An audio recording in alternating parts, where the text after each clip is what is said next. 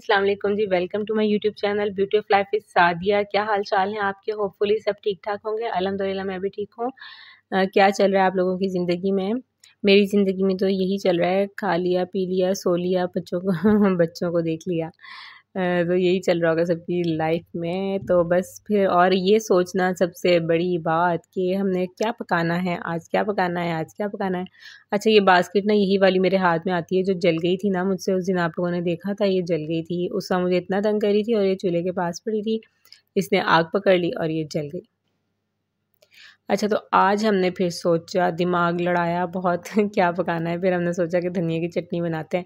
तो अंडे वाली धनिया और अंडे की चटनी बना रही हूँ आज। बहुत मज़े की बनती है कि मतलब आप सालन को तो पीछे छोड़ दें तो धनिया की चटनी खाएँगे। अच्छा जी, हमने कट कर लिया धनिया, उसके बाद जो है ना हमने अच्छा आपने जब भी ग्राइंडर में डालना है ना, आपने सबसे पहले टमाटोज़ नीचे ऐड करने हैं। मैंने इसमें डाले हैं लहसन के तीन जुए। लहसन के तीन जुए, उसके बाद आपने टमाटर डालने हैं नीचे, उसके ऊपर आपने धनिया डालना है। मैंने ऊपर डाला था तो ये ग्राइंड होने में मुश्किल होती है, बाद में मुझे याद आया, ओहो, ये तो नीचे टमाटोज़ डालने होते ताकि वो जल्दी से थोड़ा पानी पकड़े और वो आराम से ग्राइंड हो सके। अच्छा जी, खैर तो जब आपने थोड़ा धनिया डालना है, बाकी धनिया बाद में ऐड करना है ताकि पहले वाला ग्राइंड हो जाए और फिर बाद में जो है ना वो दूसरा ऐड करेंगे तो आराम से वो ग्राइंड हो जाएगा, दूसरा वाला भी। वरना जब एक साथ सारा डाल देंगे तो वो ग्राइंड नहीं होगा। अच्छा इसमें मसाले जो मैंने डाले हैं वो है नमक और पिसी हुई लाल मिर्च, धनिया, सूखा धनिया और मैंने इसमें लहसुन के डाले हैं तीन से चार जुए।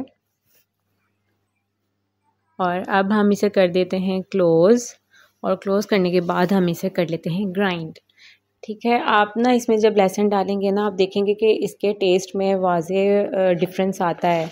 लहसुन डालने से बहुत डिफरेंस आता है टेस्ट बहुत अच्छा सा हो जाता है ना। इसका एक वो जो चटनी का टेस्ट आना चाहिए ना, वो लहसुन डालने से आता है।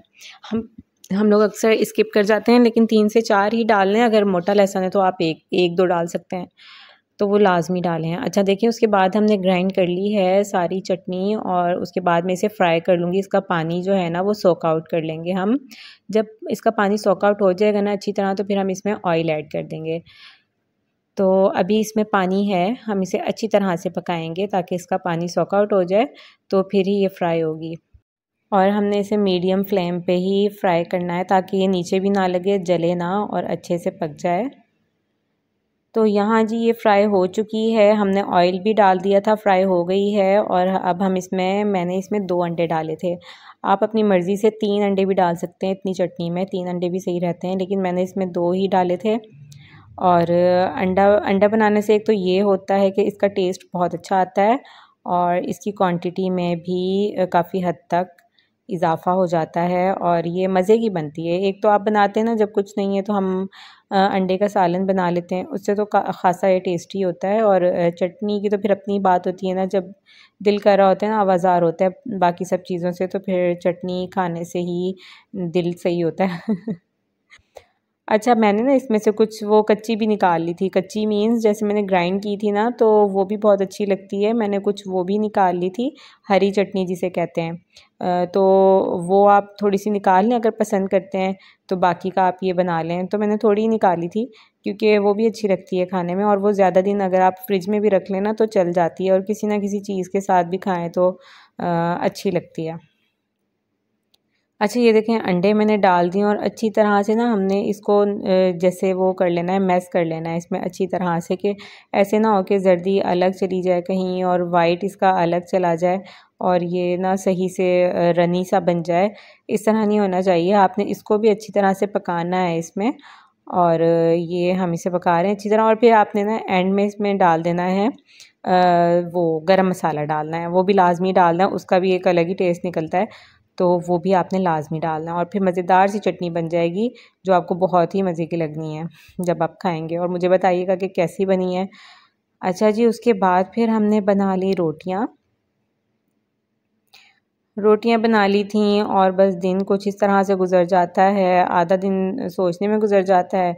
पकाने के और वो सोचने के साथ साथ बच्चों को बच्चों के कोई ना कोई काम होते हैं। मेरे तो बच्चों के बहुत मतलब आप सो के उठोगे ना तो आपको कोई ये दिमाग आपका फ्री नहीं होगा। आप खुद भले बैठे हो लेकिन दिमाग जो है ना बच्चों की तरफ़ है कि अब अच्छा ये करना है, अब ये करना है, अब ये करना है। तो बच्चे फ्री होने ही देते, वो आवाज़ें ही बहुत लगाते मम्मा मम्मा मम्मा मम्मा मम्मा। अच्छा तो अब हमने जो है शेल्फ़ अपनी नीट एंड क्लीन कर ली है सालन भी बन गया है और रोटी भी बन गई है। तो हमने अपनी शेल्फ़ जो है वो नीट कर लेनी है, अपना स्टोव भी नीट कर लेना है। बहुत गंदा होता है ना, आप स्लेब पे ज़रा सा काम करें तो किचन तो बस मैसी हो जाता है। अच्छा जी, उसके बाद ना ये कुछ लेके आए थे मूली और खीरे वगैरह ले आए थे सैलेड का सामान। तो ये जो हाफ़ मूली थी ना, ये तो बहुत मीठी थी। वही मैं कह रही थी, मैंने कहा जो हाफ़ है वो मीठी है और जो फुल वाली आप लाए हैं वो इतनी कड़वी थी मतलब वो तो खाई नहीं जा रही थी, ऐसे लग रहा था कि जहर खा रहे हैं। तो ये वाली बहुत मीठी थी और बड़े मज़े की लगी है और अच्छा ये बहुत हेल्थ के लिए बहुत अच्छी होती है। ये जो सैलेड है ना ये बहुत ज़्यादा बेनिफिट देता है आपकी हेल्थ के लिए, ज़रूर यूज़ किया। अगर दोपहर के टाइम में तो ज़रूर हमें खाना चाहिए। बस वो सुस्ती होती है कि स्किप कर जाते हैं, लेकिन सैलड कुछ लोग तो खैर डाइट में भी बहुत यूज़ करते हैं तो वो तो बेस्ट है ना, आपका मैदा बिल्कुल सेट रहेगा। अच्छा उसके बाद ये लोग इधर बैठी हुई हैं बाहर अपने कुछ चीज़ें लेके। ये कॉफ़ी है कॉफ़ी में ना स्ट्रॉ लगा स्ट्रॉ लगा के बैठी हुई हैं। मैंने कहा कॉफ़ी में स्ट्रॉ कौन लगाता है? और यहाँ पे मैट के ऊपर अपनी चीज़ें रख के, ये जहाँ इनका दिल करते हैं ना, वहाँ ये अपना, अपनी सेटिंग बना लेती हैं और बैठ जाती हैं। बस इनकी कुछ पार्टी चल रही है, चिप्स और बबल्स और कॉफ़ी की इनकी पार्टी चल रही है। बच्चों का यही होता है, बस इनको ज़रा सा कोई टाइम मिला है, इन्होंने कहना है, अब हम ना ये काम कर लें, अब हम वो काम कर लें। तो बस ये और ये जो चीज़ें जब इनको मिल जाती हैं ना तो चीज़ों के पीछे तो बहुत पड़ता है। और ये कुछ दिनों से ना काफ़ी इस टाइप की चीज़ें खा रहे हैं।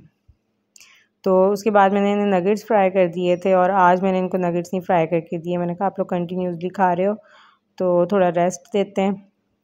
और फ्रूट्स बिल्कुल शौक से नहीं खाते बच्चे, लेकिन इनको ज़बरदस्ती खिलाती हूँ। फिर शाम में कट करके इन दोनों को बिठा के ना अपने हाथ से ही खिलाना पड़ता है वैसे नहीं खाते। अदरवाइज़ आप इनको दे दो ना तो इन्होंने नहीं खाना। लेकिन उसके बगैर भी बच्चे की हेल्थ पे बहुत इफ़ेक्ट होता है। डेली कुछ ना कुछ फ्रूट बहुत ज़रूरी है। लेकिन अभी आजकल इनकी तबीयत भी ठीक नहीं चल रही तो वैसे भी तंग कर रही हैं और फ्रूट खाने में वैसे भी बहुत तंग करती हैं।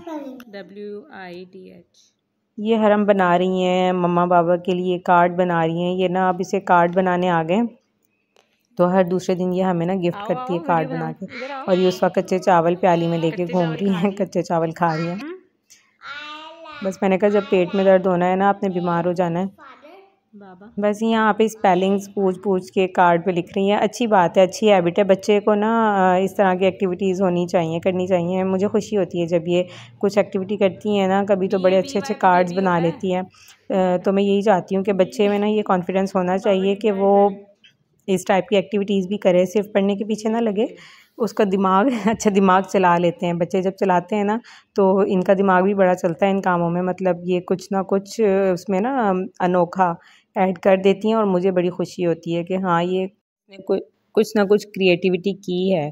बच्चे को कुछ ना कुछ क्रिएटिविटी करनी चाहिए, वो थोड़ा अपना दिमाग लगाए यूज़ करे और कुछ ना कुछ नया करे और आप उसे अप्रिशिएट करें कि वो और ज़्यादा करे। और इसी तरह से ना उसका जब हौसला बढ़ता है ना तो बच्चा आगे से आगे और अच्छा करके दिखाता है और क्रिएटिविटी होनी चाहिए। हर बच्चे का ना इस तरह से दिमाग खुलता है। अच्छा जी, उसके बाद पीनट वीनट खा के ये लोग तो जा रही हैं सिपारा पढ़ने। तो बड़े शौक़ से जाती है उसवा भी माशाल्लाह बड़े शौक़ से जाती है, वरना मुझे उम्मीद नहीं थी इसकी, जिस तरह से ये तंग करती थी ना मुझे तो मुझे लगा ये नहीं पड़ेगी ये तो स्कूल भी नहीं जाना है, इसने ट्यूशन जाने में बहुत तंग किया है। तो मुझे यही था कि ये जब ट्यूशन नहीं जा रही ना तो इसने ना स्कूल जाना है, ना सिपारे पर जाना है, ये पढ़ाई के मामले में तंग करेगी, लेकिन अलहमदिल्ला बहुत अच्छा जा रही है सिपारे में ना। अल्लाह का शुक्र है। अच्छा जी, आप आप चैनल को कर दीजिएगा सब्सक्राइब और वीडियो को लाइक कर दीजिएगा, बेल आइकन को प्रेस करना ना भूलिएगा और दुआओं में याद रखिएगा। अल्लाह हाफिज़, टेक केयर।